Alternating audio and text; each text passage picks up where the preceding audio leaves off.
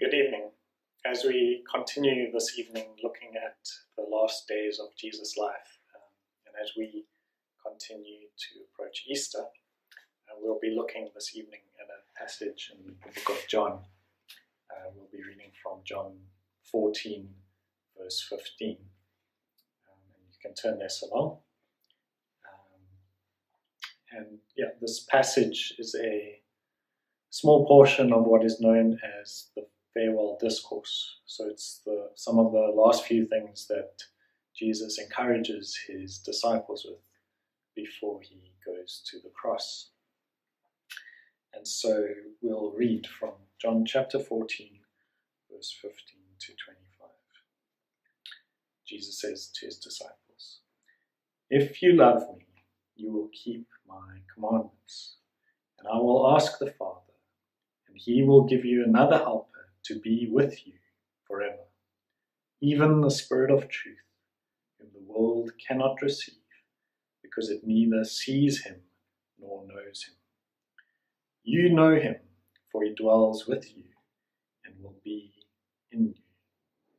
I will not leave you as orphans, I will come to you. Yet a little while, and the world will see me no more, but you will see me. Because I live, you also will live. In that day you will know that I am in my Father, and you in me, and I in you. Whoever has my commandments and keeps them, he it is who loves me, and he who loves me will be loved by my Father, and I will love him and manifest myself to him. Judas, non Iscariot, said to him, Lord, how is it that you will manifest yourself to us and not to the world? Jesus answered him, If hmm. anyone loves me, he will keep my word, and my Father will love him, and we will come to him and make our home with him. Whoever does not love me does not keep my words, and the word that you hear is not mine, but the Father's who sent me. These things I've spoken to you while I'm still with you. Just so far. And so, in this passage, Jesus is encouraging his disciples that even though he is going back to the Father, um, God's presence will continue to be with them. And so, in the few minutes that we have left, um, I just want to look at two aspects of this passage. Um, firstly, um, who do all these things apply to? Well, um, it's obvious that Jesus in this passage is speaking to his 11 disciples. And if you read the passage just preceding this, well, if you read a little bit further back, you'll see that Jesus yeah, he's speaking to his 11 disciples after Judas had left the table. And so these things apply to disciples of Jesus.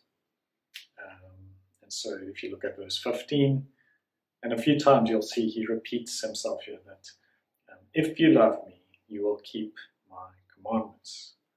Uh, so that's verse 15, and then in verse 21 we also see whoever has my commandments and keeps them, he it is who loves me, and he who loves me will be loved by my Father. And then again in verse 23 if anyone loves me, he will keep my word. And verse 24, he says it's kind of in reverse whoever does not love me does not keep and so, this passage, um, these things Jesus speaks to his disciples, to those who love him. Um, and, and we see that the evidence of whether we love Jesus or not is whether we keep his commands. And as you'll know, especially in the book of John, uh, the foremost command that Jesus leaves his disciples with is he says, A new commandment I give to you, that you love one another as I have loved you. Um, and so we know Jesus' commands are to love our neighbor and to love God Himself above all things. And if we do that, we demonstrate that we indeed uh, love Jesus. And so we see all these things are they apply to not just the 11 disciples, but to all who love God. Um, and again, we see in verse 21, Jesus says, Whoever has my commandments and keeps them, he it is who loves me. And verse 23, If anyone loves me, um, he will keep my word, and my Father will love him. And so the second aspect I want to just look at is Jesus says, or, or the, to answer the question, what is it that uh, that is promised in these passages? And I think we can all put it under the heading that Jesus promises that God will be present with us, even after he goes to the cross and ascends to the Father. God will continue with us. And so we see that um, that Jesus speaks about this in um, terms of the Father, the Son, and the Holy Spirit. It's the triune God that will continue with us. So we see first Jesus speaking about the Holy Spirit in verse 16. Says, And I will ask the Father, and he will give you another helper to be with you forever. Um, you see, Jesus had been there, the helper, or the word can also be translated as advocate or counselor or comforter. And Jesus had been that for the disciples. Um, but here he says that after he's gone, he will send another counselor. We know quite clearly who that counselor is because he says in verse 17, even the Spirit of truth, the Holy Spirit, whom the world cannot receive because it neither sees him nor knows him. But Jesus says, You know him, for he dwells with you. And we see a, a bit of a difference in the way that God relates to us before and after the cross, in that after Jesus goes to the cross and ascends, um, Jesus says that he dwells with you now, but afterwards he will be in you. Um, and so we see firstly that Jesus promises to send the Holy Spirit. Um, but secondly, Jesus also says that he himself will be with his people.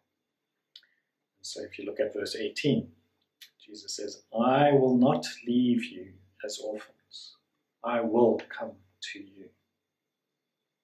Yet a little while, and the world will see me no more, but you will see me. Because I live, you also will live. And then lastly, Jesus also tells us that the Father himself will be present with us. So we see that in verse 23.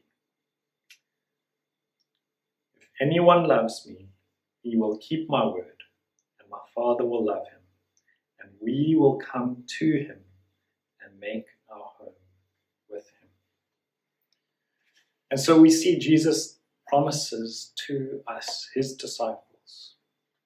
He promises us that God will be with us who love him. Not only that, but we are assured of God's love for us. Read again, verse 23 If anyone loves me, he will keep my word, and my Father will love him, and we will come to him and make our home with him. Um, and verse 21, Jesus also said, He who loves me will be loved by my Father, and I will love him manifest myself to him. And so, in this time when we are all separated physically from one another, and even though we have these helps like um, live video chat or live video, um, at the same time we are we are separated from each other physically. But what Jesus promises to us is that God's presence continues with us. And that is made possible. Um, there's, there's some new relationship after the cross that the Holy Spirit does not just go with his people, but in, in fact is in his people. And the Father and the Son make their home with us.